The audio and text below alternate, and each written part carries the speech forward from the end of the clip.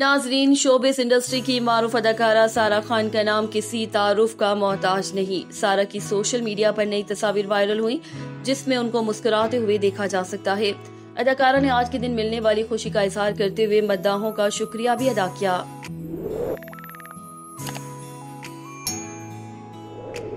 नाजरीन, Pakistani drama industry की मरूफ अदाकारा सारा खान का नाम किसी तारुफ का मोहताज नहीं। उन्होंने अपने कैरियर के जितने भी ड्रामे किए, उनकी अदाकारी को मद्दाहों ने खूब पसंद किया।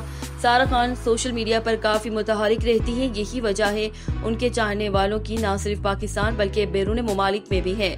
मद्दाहों की बढ़ती हुई तादाद के पेश नज़र सारा खान के सोशल मीडिया साइट इंस्टाग्राम पर फॉलोअर्स की तादाद सात मिलियन हो गई है।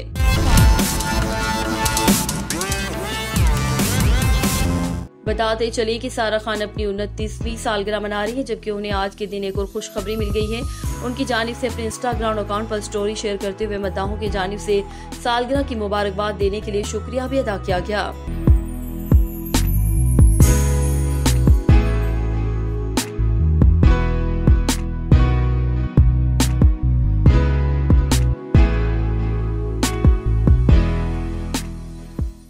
सारा खान ने अपनी वीडियो में अदाकार इमरान अशरफ का शुक्रिया अदा किया था और अपनी शादी की पहली सालगिरह से मुतालिक मद्दाहों के लिए खसूसी पैगाम दिया था। मशहूर ड्रामे रक्स बिस्मिल की आखिरी किस्त का अख्ताम होने पर वीडियो वायरल हुई थी। वीडियो में उनके शोहर गुलकार फलक शब्बीर का कहना था कि मैं खुश हूँ कि जोहरा मूसा की हुई। सारा खान का कहना था कि जितना खुश हम दोनों हैं, हमारे मद्दाह भी इतना ही खुश हैं कि जोहरा मूसा को मिल गई। मैं अदाकार इमरान अशरफ अपने प्रोड्यूसर और टीम के दीगर अमले की शुक्रगुजार हूँ।